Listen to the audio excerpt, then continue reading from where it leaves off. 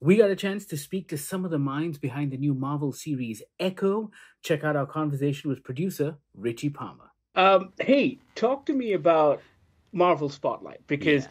I was curious as to the conversations that led to its inception. In that it is a trajectory that feels similar to what happened in comic books with hard resets whenever things became too complex or complicated, right? With regards to story arcs and tie-ins and crossovers. And was that the motivating factor? We just wanted to tell a story about Maya Lopez and her family and make sure that the stakes were that of one woman and her family and not multiversal stakes that had to do with the larger MCU right now. Uh, and it was inspired by the comics. As you mentioned, in the 70s, there was a comic called Marvel Spotlight, where some hugely iconic characters from the comics, like Ghost Rider and Spider Woman, these characters got their debut in a Marvel Spotlight comic, and they wouldn't have otherwise gotten their own series. Um, but because stories were told and they were good stories about good characters, they've gone on for decades. So I think our hope is that we take an obscure character from our larger Marvel Comics canon, like Maya Lopez, and put her in the spotlight and hope that fans love her so that we can do more with her and all the characters we've introduced alongside her. Very cool. Are you guys also hoping for this to be a way in for newcomers? Yeah, yeah, definitely. We think that, especially a show like Echo about Maya, it's a little more grounded. It's a little more violent and gritty. I think it it's inviting in a way that it feels a little more grounded, and I think there's more to attach yourself to immediately. And then along the way, I think you get wrapped up in how emotional this show is in a really cool way. I think one of the cool things uh, we've seen the first three episodes, and I think one of the cool things about Echo is this idea that it explores a different part of the MCU and it tells that story in a tone and a look that feels different from the other things that we've seen.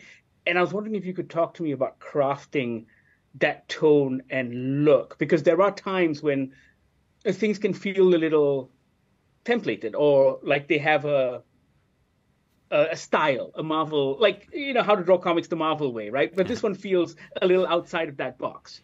Yeah, we wanted to make sure that Echo, like all of our shows going forward, have a unique style to anything that came before it. Sydney Freeland came in with a very clear vision of how to portray Oklahoma in our series, and our whole present day storyline takes place in Oklahoma over a very short period of time. And that was something else that Sydney really wanted to do. So we have flashbacks to New York and flashbacks to other places and times, and she wanted to make sure whenever we were in the present day bulk of our story in Oklahoma, you knew exactly where you were at all times, and it was a small town grounded feel to it in a way that I really think makes the show more intimate and able to get emotionally attached to these characters in a cool way. Oh, absolutely. Um, how has, and I'm not sure you can answer this question without giving too much away, but we saw how Kingpin had changed a little bit in Hawkeye, and I was wondering how is he different in this show?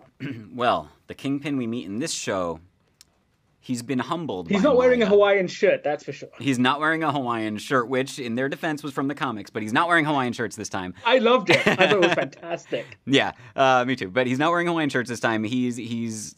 I think he's been humbled by what Maya did to him at the end of Hawkeye. I think that humbled him. I think he's coming to her saying, you know what? I respect you and recognize you. We had a whole life together and I understand why you did what you did. So now I'm humbly coming to you to ask you to, you know, join me and together we'll go rule the city. I think that's a new side of Kingpin. I think he's a, a humbler man now. I think he he will I think it's one step though towards the direction that you'll see him even going forward. I think if you stay tuned to our, till our finale, you'll see that like Maya in our show, he makes a small step towards a new a new version of his character that we're excited to see how it unfolds in our future shows.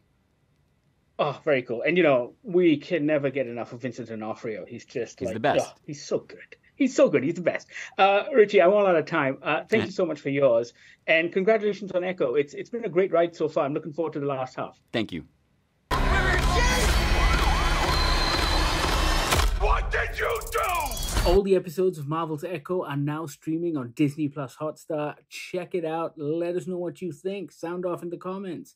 Thanks so much for watching.